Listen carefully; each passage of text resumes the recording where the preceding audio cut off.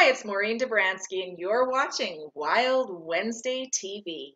We are women igniting life's dreams.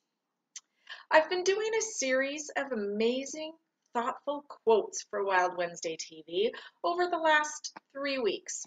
I absolutely love quotes, images, positive affirmations, and ideas, and I believe we can never have too many of them. The first week, I shared five outstanding deep quotes that really made you think. Last week, I shared some powerful quotes about happiness. This week, I'm sharing with you some fun and a bit out there quotes about letting out your wild sign. Warning, the following content contains bad language. So let's begin. The first quote A wise woman once said, Fuck this shit. And she lived happily ever after.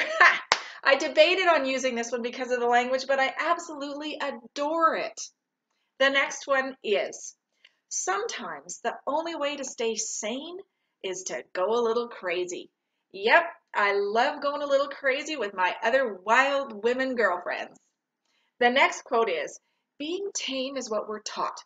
Put away the crayons. Don't talk too loud. Keep your knees together. Nice girls don't. But you know what? Nice girls do and they feel wild and alive. Being tame feels safe, wild, unsafe, and yet safety is an illusion.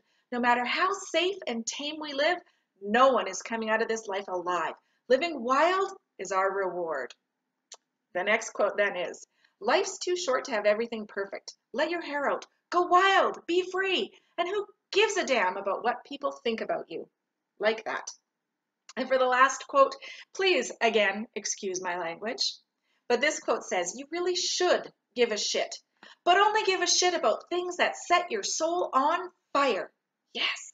So, now I'd love to hear from you. I shared with you some pretty wild and crazy quotes.